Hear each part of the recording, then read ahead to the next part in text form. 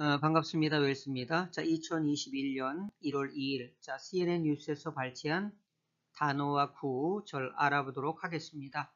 자, 1번부터 20번까지, 자, 20개 준비되어 있고요. 자, 1번부터 어, 차례로 알아보겠습니다. Number 1, retaliation, 보복, 안갚음. retaliation, 보복, 안갚음. Number 2, mischief, 장난기, mischief, 장난. Number three, listen memory. 최근의 기억. listen memory. 최근의 기억. Number four, digest. 소화시키다, 요약하다. digest. 소화시키다, 요약하다. Number five, plan your future. 너의 미래를 계획해봐. plan your future. 너의 미래를 계획해봐. Number six, intermittent. 간헐적인. intermittent. 간헐적인. Number 7. Different background. 서로 다른 배경. Different background. 서로 다른 배경.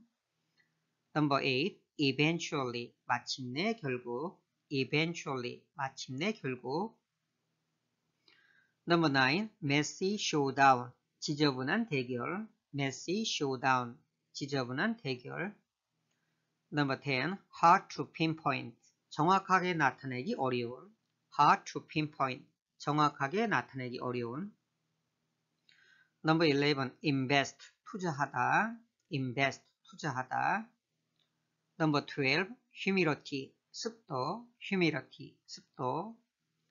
Number 13. Rapid economic growth. 아, 빠른 경제 성장.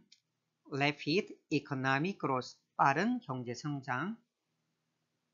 Number 14. Realize that dream. 자, 그 꿈을 실현하다. Realize that dream. 그 꿈을 실현하다. Number 15. Fragile.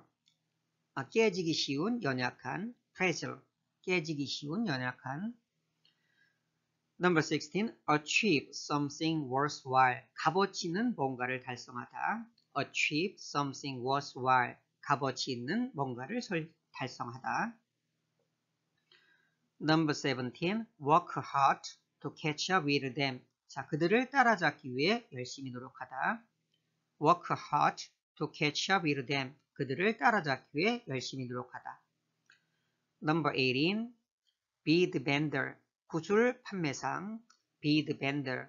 구슬 판매상. number 19. scale. 비늘, 저울, 음계. scale, 비늘, 저울, 음계. Number 20. fragile, 연약한, 깨지기 쉬운. fragile, 연약한, 깨지기 쉬운. 자, 15번, 20번 중복이 됐네요. 하다 보니까. 자, 그리고 추가적인 설명 아, 들어갑니다. 자, 1번 보시면 자, retaliation, 보복이나 안가품인데 다른 표현으로는 우리말로 눈에는 눈 이런 표현 있죠? eye for eye 이렇게 하셔도 되고요. 또 다른 표현은 줄여서 tit for tat이라는 표현도 있습니다. 1번은 꼭 알아두시기 바랍니다. 자, 그 다음에 4번 다이어죠.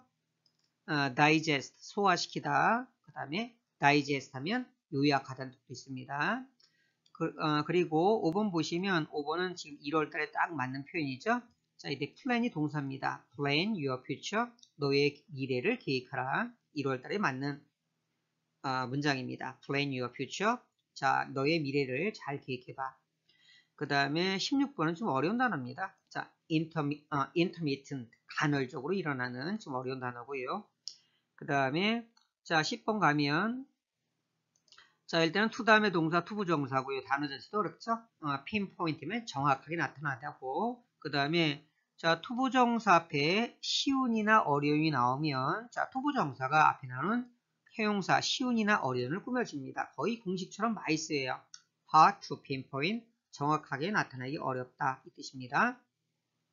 자, 그 다음에 14번 마찬가지 다이어입니다.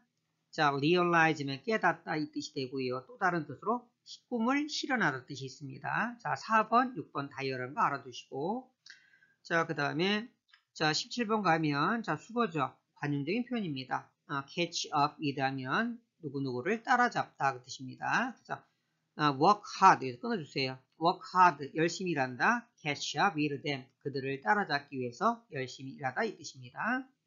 자, 그 다음에 18번 보면, 자, vendor라는 게 상인입니다. 그래서 우리가 길거리 상인을 영어로 street vendor라고 합니다. street vendor, 길거리 상인. 그 다음에 앞에 bead란 단어도 좀 어렵죠. 구슬을, 구슬이나 염주입니다. 그래서 bead vendor, 구슬을 파는 사람.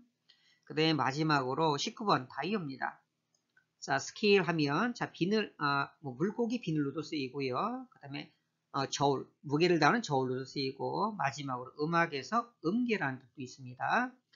자, 1번부터 20번까지 20개 단어 알아봤고요. 그 다음에 다이어 몇 가지, 그리고 수거, 그 다음에 10번 관용적인 표현들 알아두시기 바랍니다.